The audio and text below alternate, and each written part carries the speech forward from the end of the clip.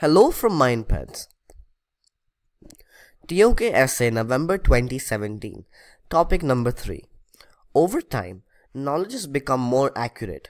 Discuss this statement with reference to two areas of knowledge. Knowledge question 1. What is the significance of accuracy in knowledge? Knowledge is considered accurate if the known, the measured, or the predicted are same or equal to the truth, the real, the actual, and the existing. Any deviation or discrepancy will be an error. When confronted with errors, it is a natural response to investigate, probe, inquire, reflect, and re examine what went wrong. Compared to this, the zero anomaly from accuracy not only bolsters existing strategy and practices, it reinforces credence to prevailing knowledge and information. The accurate knowledge not only requires ways to get close to the truth, to be error free, but also knowing what is true, real, actual, and existing. For example, through sense perception, we can observe and know both the measured and practiced with the actual and real in natural sciences. To have accurate knowledge may not be easy in areas of knowing like religious systems and ethics, where the truth or the real and the actual is subjective to the individual community and society. For additional content, read more at mindpads.org. Knowledge question 2. What are the essential elements that bring about accurate knowledge over time? The accuracy of knowledge is vastly dependent on the accuracy of the instruments technology of the time and the data available to the existing or prevailing theories. Over time, possession of abundant and accessible data, combined with the technology of computing and algorithms and analysis, provides opportunities to acquire and produce knowledge that is both accurate and objective.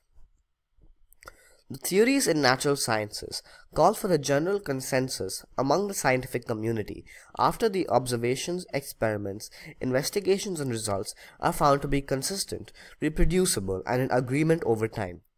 The claims and counterclaims stand to persevere from scrutiny and explanation, and the resulting outcome is based on a well balanced and robust foundation.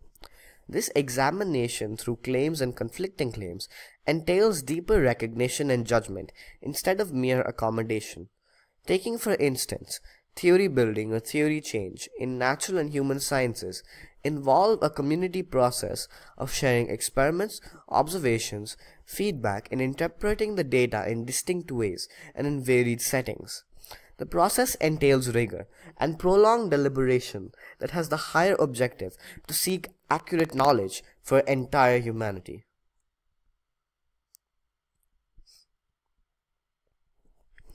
Knowledge question 3.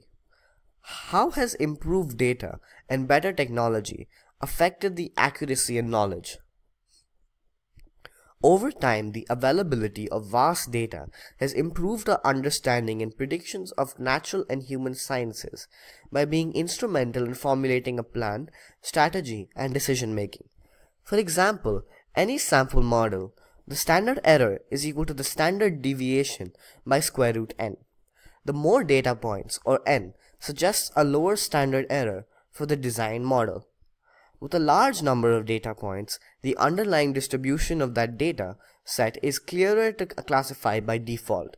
We get a truly representative sample space. A theory, even if a very good and elegant one, will suffer from confirmation bias, while facts and evidence from experiments and reality enable not just to test and verify theories, but modify, alter, upgrade, and choose from competing theories.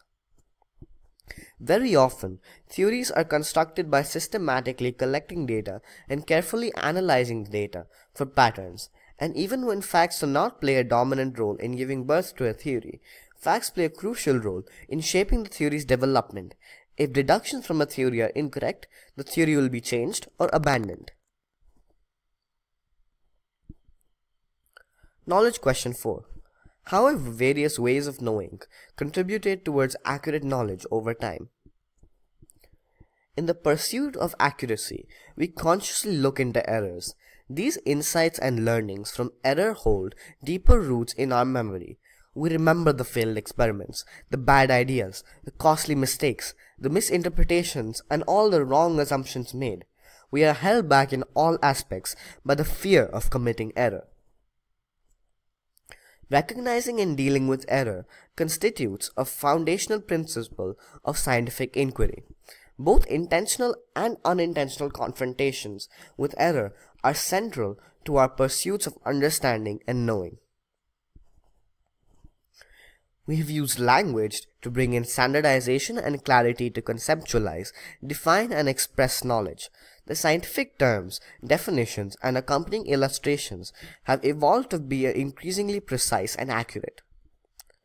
In the last two centuries, natural sciences and human sciences have made continuous and persistent efforts through sense perception and reason to make sense of the recognized patterns, leading us to form associations and shape our understandings of almost every aspect of our lives.